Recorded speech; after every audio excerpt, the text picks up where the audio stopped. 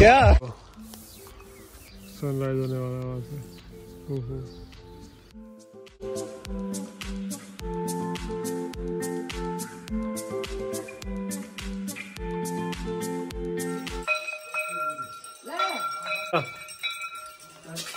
काम होता है ना उसी दिन नींद आती है राजगढ़ चल रहा है।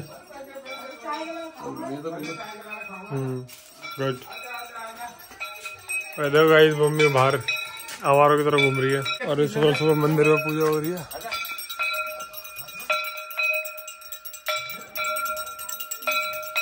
तो मम्मी यहाँ पे बिल्कुल रेडी हो चुकी है जाने के लिए। तो हम जा रहे हैं फ्रूट लेने और उससे पहले एक हमारे पास है oil free face moisturiser mummy पकड़ना एक बार। इसको थोड़ा सा लेके ना फेस पे लगा दो क्योंकि मेरे हाथ में दिया पापा मांग रहा था फिर हल्का सा हल्का सा हल्का सा। कभी कभी तो माँगता है। हल्का सा बस। लेके आने क्या? क्या? हाँ। इधर चल रहे हैं ना? लगा दो। चलते इधर रहे। पूरे फेस पे लगा दो। समझो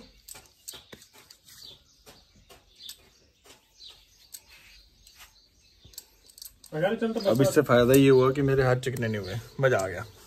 आज पहली बार आप एक पागल को गाड़ी चलाते हुए देखोगे। मैंने इसको बोला घुमा के इधर लिया। और पिछले चार घंटे से यहीं पे घुमा रहा है इसे। और इसने तीन बार बंद कर दी। ऐसे भी इंसान होते हैं ज़िंदगी में, बताओ, कोई शौक नहीं है।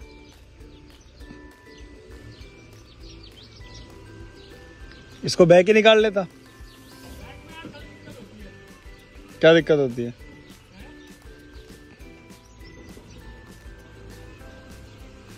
पागल पागल। चार घंटे लगा दिए इतने इतने बड़े गेट में से निकालने में।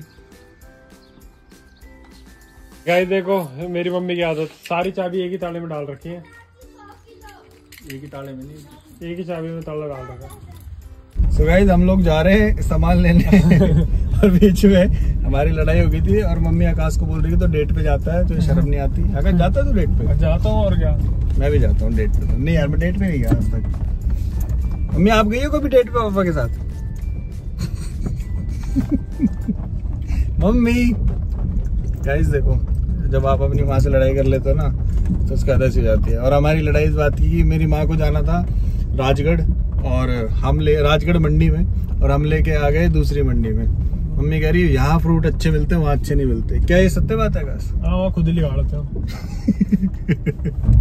यार फ्रूट तो फ्रूट होते हैं ना वो कहीं भी मिल जाए क्या फ़र्क पड़ता है घर वाले थोड़ी ना मानते। मम्मी हाय तो कर दो कर इसको गैस देखो कितना प्यारा कर दिए पहले का पूरा चेंज कर दिया यहाँ का आगे का। ये देखो ये गुंबद लगा दिए बड़े बड़े ये देखो पूरा रेनोवेट कर दिया। कम से कम डेढ़ दो करोड़ का खर्चा आया इसमें। मेरे तो पचास लाख ही लगे। हैं। डेढ़ दो नहीं साढ़े तीन करोड़। साढ़े तीन करोड़ का? सो गाइस यहाँ पे हम फ्रूट्स वगैरह लेके आ चुके हैं और मम्मी ने पूरे रास्ते लड़ाई करी और बिल्कुल मूड ठीक नहीं है अभी। गंदी गंदी गालियाँ दी वो अलग। आकाश कितनी गंदी गाली दी तुझे? समझ भी नहीं आ रही थी बता दू क्या बोला था? क्या करता है? इसको पता क्या बोला मम्मी ने? बता दू।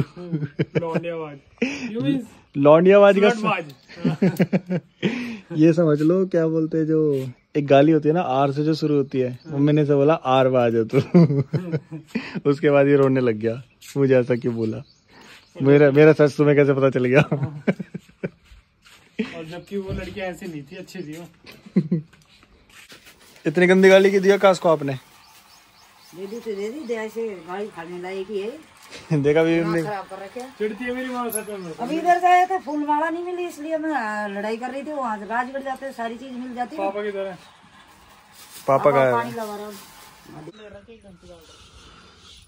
गर्मी बहुत तगड़ी हो रही है। पापा, दो दिन की बारिश के बाद ज़्यादा हो गई। घंटी काढ लिया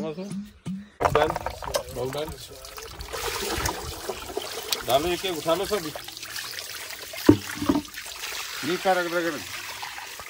मांग लो का मांगो जो अभी?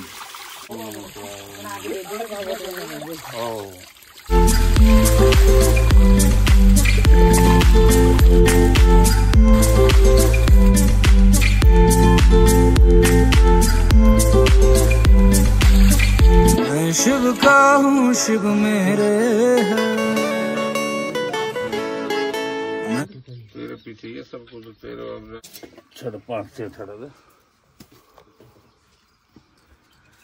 मिनट के लिए बाहर क्या गया? मेरे बिना सब कुछ कर लिया इन्होंने। इतने गंदे लोग हैं ना। जल चढ़ना था तो हमने चढ़ा लिया तेरा इंतज़ार करा बहुत लेकिन तू आया नहीं समय पे। सोते थे भगवान इंतज़ार करता। वैसे भी तू काम का तो है नहीं। मम्मी ने आज जो तुझे बोला था उसका तो मंदिर लाने लायक नहीं है। छोड़ो कार देखो ये गालियाँ देखो फिर से दो एक और बार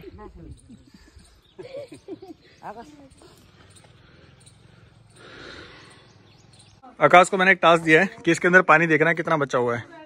चल। वो तेरी बॉडी सही लग रही है।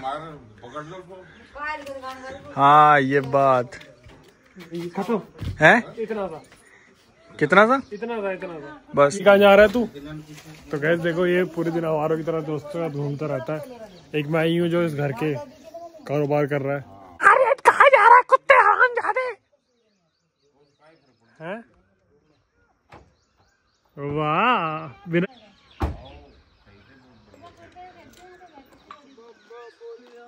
तेरे बिना मेरा क्या काम है यहाँ पे? मैं भी बस हो जा रहा हूँ। अंकल की स्पेशल चाय पी- चाय पी के आऊँगा। कहाँ पे? अंकल की। चल मुझे आवाज़ मार लियो क्यों? मैं जा रहा हूँ चाक पूछने। वो एप्स आगे मेरे। एप्स आगे। गई इसकी बॉडी बन गई फाइनली चलो ज़िंदगी में कुछ तो अच्छा हुआ इसके साथ। बन रही है बनेंगी बन रही है। बैकग्राउंड वॉइस आ रही है। क्या? ये जा ए चुप हो जाओ। ये टैनिंग ज़्यादा होगी यार। ये आकाश तेरा कच्चा सूख रहा है बीच बच्चे का है मेरा नहीं है ठीक है। पापा का है। इतनी मोटी वो नहीं है। चलेगा आकाश मेरे साथ? नहीं। सो गाइज़ हम चलते हैं। घर पे। सो so, वैसे तो आज का पूरा दिन ऐसे ही निकल गया और अभी चाक का प्रोग्राम है यानी कि चाक पूजने जाएँगे और मम्मी और पापा कहीं पे गए हुए हैं कुछ काम से।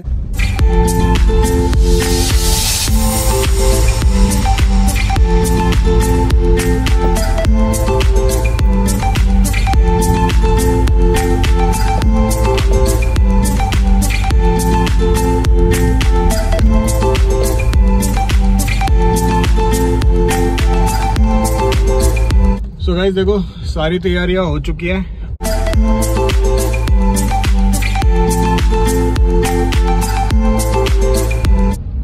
गए सामने देखो, यहाँ ये चाक पुज रहा है। घर से यहाँ तक आ गए हम लोग।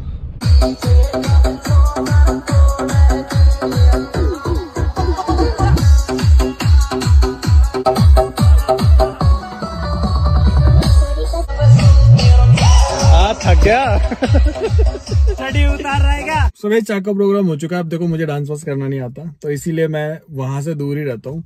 और ये देखो ये मेरा दोस्त यहाँ भी आ चुका है। अब इनको लग रहा है मैं इनके लिए खाने के लिए कुछ लाया हूँ।